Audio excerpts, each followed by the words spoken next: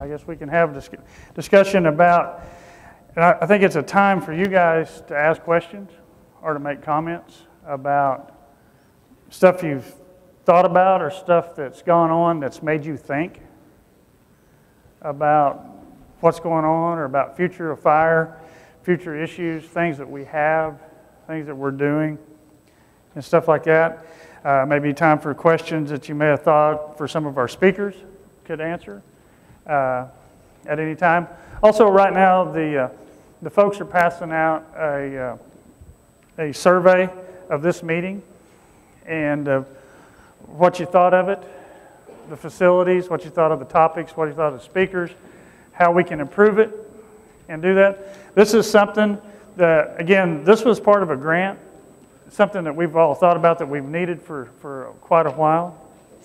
But also, we're looking at making this an event, probably not every year, but every other year. And we're going to rotate it around between Nebraska, Kansas, Oklahoma, and Texas, and do it about every two years. So we're already thinking about planning for next year. If that's something that you see that would be a, a great benefit, I think it would be a, I think it would be a positive benefit for the definitely for the prescribed fire community of the Southern Great Plains uh, within that. And so, with that, I'd like to turn it over to you guys to ask and talk about questions or come, come up with discussion about something that you know maybe not have been talked about that you think should have been talked about right now, and a time to ask questions. Because again, we do have a lot of people in this room that have a lot of experience with fire. We got people from different parts of the country that have experience with other things, and uh, with that, we're going to have a microphone. Carol, you're going to bring that around. So if you've got a question, we'll bring it to you and let you ask the question so everybody can hear it, and then we'll try to work on, on answering it. So, does anybody have any questions, any comments? Don't be bashful. Because if not, you're going to make me break into song and dance up here, and you definitely don't want that.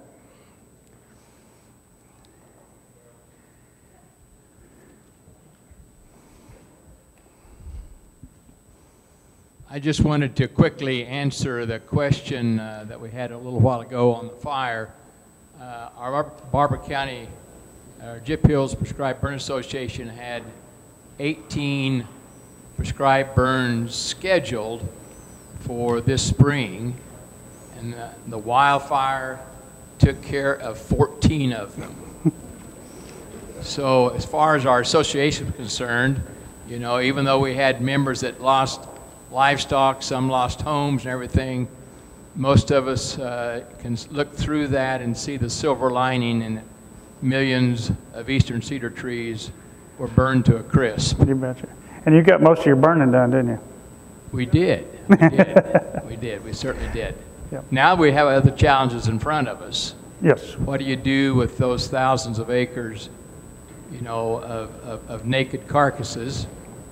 And, uh, but we're seeing water that many ranchers haven't seen in a number of years, and, and the, the grass, we were blessed with rain in June, July, and August, and, you know, a lot of the grass came back abundantly, and so there's a lot of positives involved in that very tragic situation.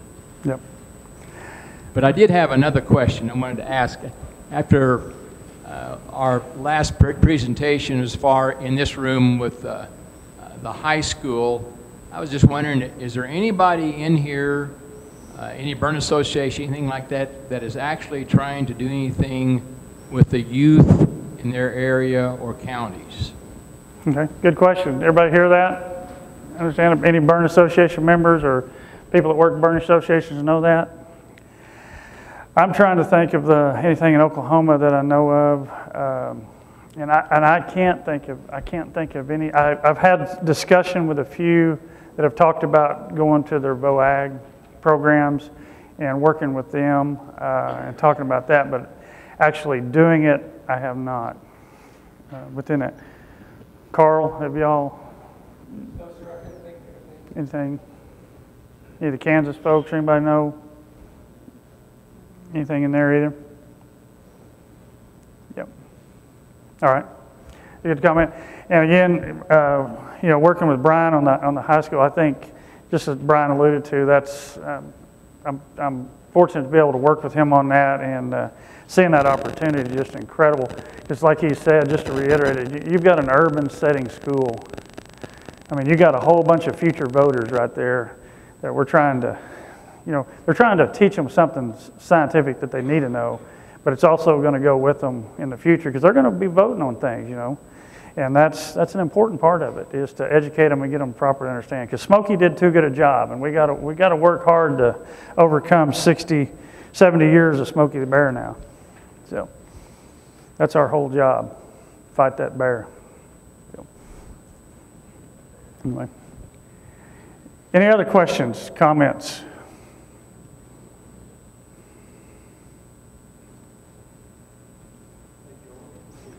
Just a second, let her get to. Can you, one of the things you can discuss would be, you know, you talked about why, but on when to burn, as far as like frequency of burning the same property. Um, nobody's really gone over that, do you? Yeah. Each year, every two years, or something like that? So, fire frequency, talking about fire frequency, how often should you burn a place? How often should we have fire? And again, anybody else who wants to answer can pipe right in too. What's the number one thing going to be on that? Goals and objectives, right? What are your goals and objectives? So that's, that's, the, that's the biggest thing. Uh, so goals and objectives of what we're going to do, that's number one. Goals and objectives are going to be woody plant suppression, things like that. We're talking about at least, you know, at least a three-year fire frequency. Another thing that, huh? About a three-year fire frequency, at least three. You know, about every three years, we need to be running fire back through there on that. And again, a lot of that time is going to depend on where you're at. The folks in western Kansas, western Oklahoma, you know, we can, we can shrink back a little bit because of, you know, we're talking rainfall, how quickly stuff recovers. But that's going to be what we're talking about, was doing that. Thinking about cedar skeletons in Barber County. How do we get rid of cedar skeleton in Barber County? We burn them up. You know, the next fires, we start, we start that process of doing that. And a lot of that stuff, again, what we have to remember a lot with fire too on that, th- this country didn't get that way overnight, did it? It's not going to change overnight. Now, sometimes fire can change things overnight, certain, certain kinds of fire. But again, it takes time, it takes repeated fire. And that's why we got to remember fire is not a tool. Fire is an ecosystem process. We need to have it, it should be there. And that repeated fire, because again, we've had repeated fire suppression for decades. We've got to, so repeated fires are going to take it. One fire is not going to cure the world, it's going to take, take more than one. But again, that fire frequency, a lot of times early on when you're burning, starting out, especially on new areas that you haven't, a lot of times the more frequent you could get fire in there, the better off it is. And then as you get to where you want it to be, then you can slow that frequency down. You know, because again, a lot of times we're dealing with drought, we're dealing with other things when we're trying to burn. Some years we, the fuel's not there, conditions aren't there. But also, we need to think about not only burning just single seasons of the year, we need to open that burn season up to allow safer burns, easier burns, more opportunities to burn whenever you do that. Like I've always said, people always ask me, when, well, when do you burn? What is your burn window? What do you look at? And what we try to do is we try to get started around the 1st of January. You know, that's, that's what we try to look at. And then we try to finish up somewhere around the 31st of December.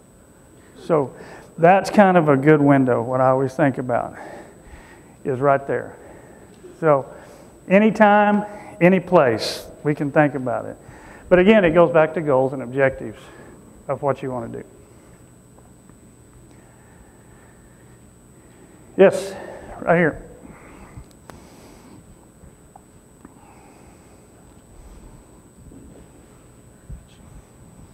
Um, in the states that, that have the prescribed fire councils and uh, also the state level prescribed burn associations, how are um, kind of the two of them, what are their primary duties?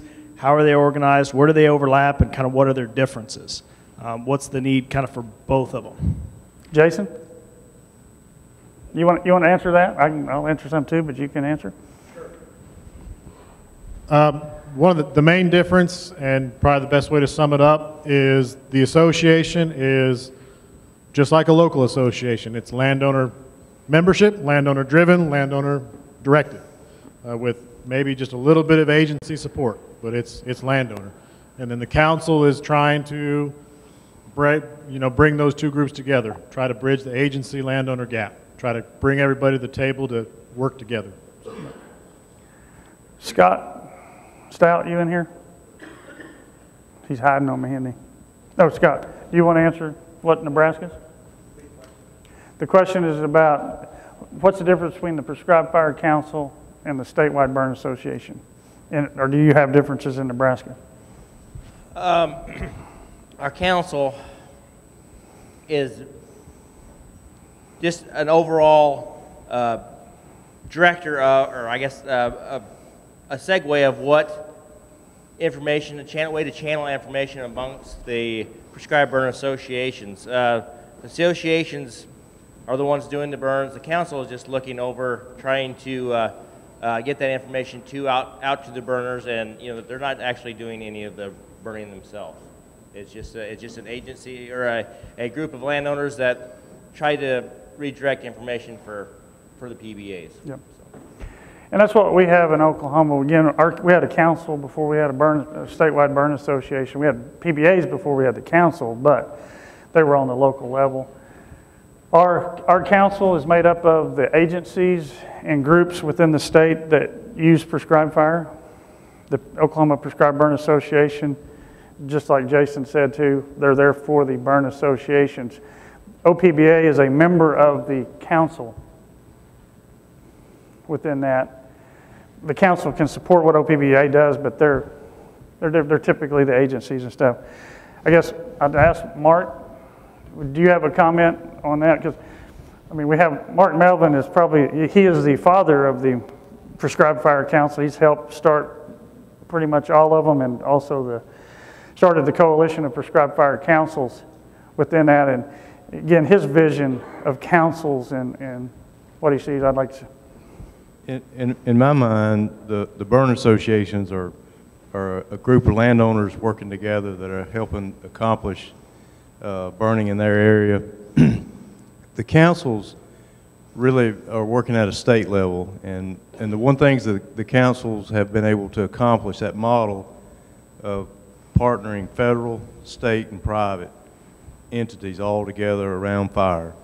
Uh, and we put aside our differences. You know, in, in Georgia, we have a large steering committee. We have over 30 members. Uh, anybody that has any investment in fire in Georgia is on our, uh, we recruited them.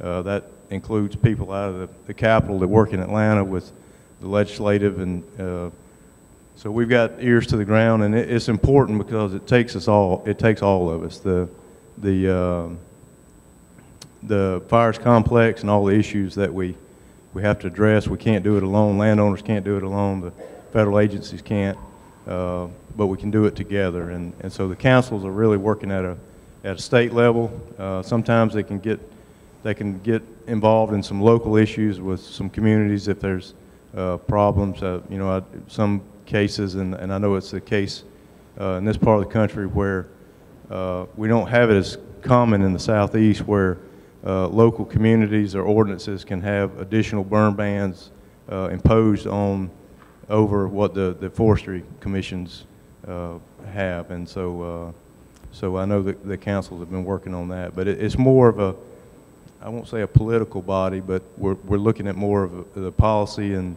and the messaging around fire at a state level as opposed to a specific local uh, landowner level.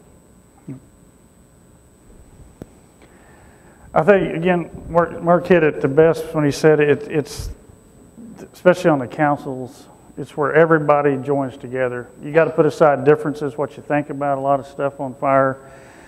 You know, whether you think about we need to only burn in the spring, we can burn year round, you know, intensities, frequencies. You put all that aside because it's all about fire.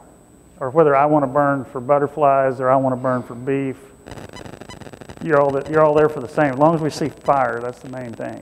So, and that's what, what the councils can, can get by and- and get done. Uh, Coalition of Prescribed Fire Councils, if you look that up, do a Google search, there's a website, because again, that's, that's a, that's an entity that is over, that has been working with all the councils, uh, thir- 35 councils, 31 councils in uh, 28 states. Correct, yeah. Florida has three prescribed fire councils. They can't get along with each other, no. They got central, northern, and southern. So, but again, there's, uh, you know, 31, 20, 28 states. Uh, So again, it's, it has spread rapidly in in several years with the councils. So again, they're all doing their good part. The state level prescribed burn associations, I mean, that's, they're mainly there to carry the liability insurance for the rest of the association. Okay. The, the question is about the, the state prescribed burn association carrying liability insurance and stuff for the rest of the association. Um, Not really, they, they can be a, they can be a entity that can help find it and provide it. So last year, well, for the last couple of years, OPBA, Oklahoma Prescribed Burn Association, has been working on finding a standalone prescribed fire policy. And we were able to get that last year in 2000, 2015, it first come about uh, where you have a standalone prescribed fire policy. And the way we set it up, we didn't want it just Oklahoma on, it, it could be used anywhere in the U.S., the way it was set- up. Unfortunately, two weeks ago, or three weeks ago now, we got a call from Midland Insurance Corporation. They have canceled that policy due to lack of interest. They haven't been selling enough policies. Because uh, again, one of my, one of my big pet peeves is, is the liability fear, which is everybody's number one fear. It's founded on fear itself. Because I can show you proof that prescribed burning is a whole lot safer than you driving down the highway by long ways. But it's the perception, perception of fire. But again, those state associations, they're not, they're not accepting, but they can be the umbrella corporation. So we also, so Oklahoma Prescribed Burn Association has a 501c3 with that. As of several years ago, 501c3s were pretty easy to get, and a lot of the burn, asso- early burn associations got them, and they were easy to get. There was changes in IRS policy, made them difficult to get and keep. But, so we got one in- in the last few years, and what we did, that you can have an affiliation agreement with all the other burn associations that want to be a member, as long as they follow guidelines that are similar to yours, have bylaws that are similar, and follow guidelines that are similar. It's real simple. And so they fall under your umbrella. So we have several of our burn associations fall under, they, they can use our 501c3 for whatever need be of the parent association. And so what again, what I see is the state associations do is they make it easier for burn associations to operate. They make it easier for new burn associations to start. They provide a clearinghouse of information to, to the landowners, burn association members and stuff on how to burn, where to, where to do whatever. Also, it's a clearinghouse for grants and money to go back to the local burn associations for equipment and training and what they can provide. Stephen? John, how many uh, policies did they end up selling? Do you know? I, I, the last I'd heard was sometime last spring, and I think they don't, they'd sold like 30, 30 something policies on the insurance. Is what they'd had. So, I mean, you know, I mean, that's insurance. You've got to, it's got to be cut and dry. Insurance company, I hope there's not too many insurance people in here, but insurance, insurance companies have two goals, correct? To collect a premium and to pay out as little as possible. That's their goals, you know, because it's a business.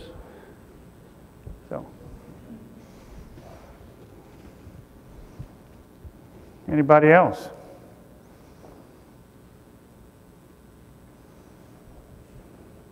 Rob Cook, do you have a question? You told me you had a question earlier. We got one right here.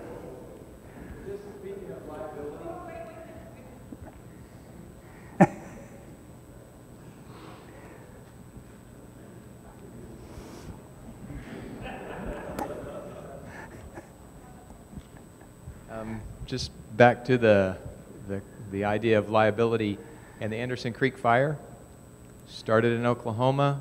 What was the history of that? I mean, what, What started it? well, what started it and accountability? Who, Started off the highway right there at the bridge at Anderson Creek. Uh, I don't think nobody, flat blowout, chain dragging muffler or something, probably one of the, one of the three. Is that what you would, that's about the best information I've got on it, within that. So, on that. People did have a question about the fire too, I, I just remembered.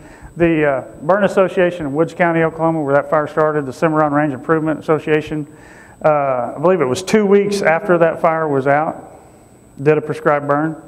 Had 27 people show up for the burn. Three of them were ranchers that their entire ranch had been burned out. They're there ready to burn. So, I do know that from them guys, from my group up there. They wanted to count the acres burned in the county too towards their goal. I wouldn't let Katie do that. Because if, because if y'all know Katie Blunk, she's going to try to get anything by me she can. So, anyway, with a few cuss words. so, anyway, yes. Hey, John, I'm curious if the prescribed burn associations or the count, is it on? Can you Yep. hear me? Okay. Um, I was curious if either the national level or within the Southern Great Plains, if any of the burn associations or state level councils are trying to get together and put together maybe big grants or something to try and help get equipment out on the ground for the prescribed burn Yep. associations. Okay, great question about us trying to get together. Actually, in 2013, Jason, I think it's our first, first meeting. In 2013, uh, folks from Kansas, Oklahoma, and Texas got together, and we kind of had a, I guess the first one was Fort Worth. When it Chuck, you kind of helped put it together. Uh, we met in Fort Worth, kind of had a regional meeting. Again, that issued on for a couple of years. We haven't, we haven't met in, I think, two years now. Last time, I guess we met up here in Kansas uh, with, with you guys, Jason. But we, we kind of formed, loosely formed what we called the Alliance of Prescribed Burn Associations. And it, was, again, Texas, started out Texas, Kansas, and Oklahoma. Nebraska was later invited once, once they got in gear. We got Scott moving. And uh, got them got them going. So yeah, we, we're trying to form that. And again, there was a lot of good stuff come out of it. We need to we need to meet again and do that because again, don't matter what state you're in. The only thing really different is your laws under how you have to burn. But the but the issues with the with the burn associations are the same. You know, talks about bylaws, you know, equipment, grants, training, and where we can get that, where we can do that, and you know, and try to instead of just one state doing this and keeping it hid, let's don't re let's you know, no need to reinvent the wheel. Let's share what information that we've got.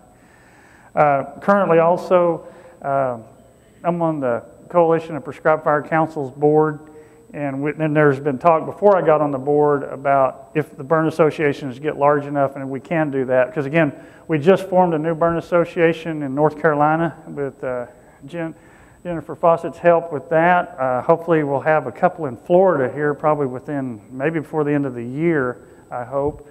Uh, also, one in South Carolina. They're they've been trying to work on that. But again, as as they start to spread and go out, and you you guys can be proud of that part of it because you guys here in the Great Plains, you are causing the Burn Association to spread across the United States. They're seeing the impact of that and what's going on from what you guys are doing in our in your respective states within that. But if we can get that going, we can. Uh, uh, we've talked about joining up with the coalition of prescribed fire councils at a national level, and again, it would I think it would strengthen both parties and help that once we get that. So, on that, Morgan. So, Mr. Wier, two questions. In Texas, we uh, recently have had a burn managers council form in 2013. They have totally chosen to not affiliate themselves with, with our Prescribed Burn Alliance of Texas. Any pointers for that? And then my second question is when's the next fire summit and where? Yeah, what- repeat the, repeat the first one again. So the uh, Texas Foresters Association put together in 2013 what they call their Burn Managers Council. Yep. um, totally unaffiliated, and they have not reached out to any of our prescribed burn associations on rangelands or our prescribed burn alliance in Texas. Kind of wondering why that is and how we can just build a fire is fire type culture in, in the great state of Texas. Yeah. That's your job. You're in Texas. You, you got to get them Texans motivated. So I'm doing that. And the, I'll let you deal with that one. I can deal with the second one about the, the next fire summit. Does anybody want to come to another one? That'd be the question. Show of hands? Well, guess we might do one. We've already been talking about it. Like I said, maybe about every two years. We don't want to overwhelm you every year. Barth, and plus Barth is, it's hard on Barth because we're, we're making him in charge of all locations and setting everything up. Because first off, right now, uh, I think everybody needs to give Barth Couch, Carol Blocksome a round of applause.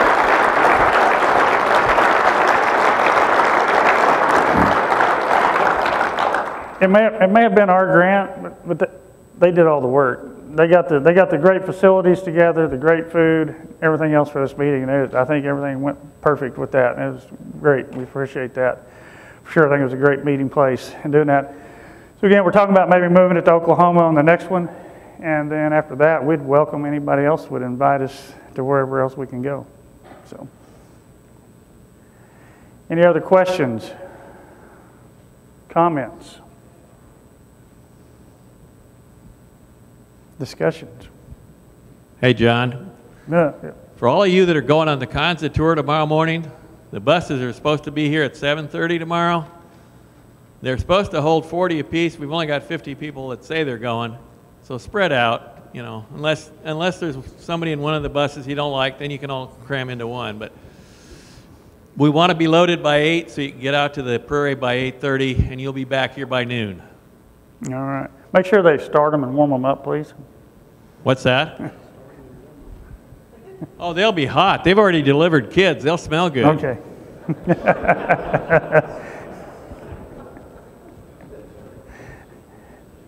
All right. Any other?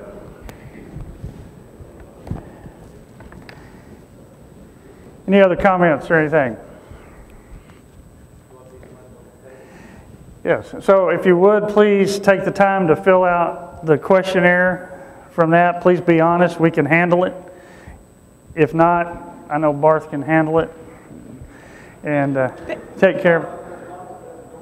Okay, we've got a box right there at the back door as you're going out on the left-hand corner. Please deposit those there. We appreciate it. We thank y'all very much. For those of y'all that are heading home, have very safe travels. Merry Christmas, Happy New Year, and have a great burn season. Thank y'all.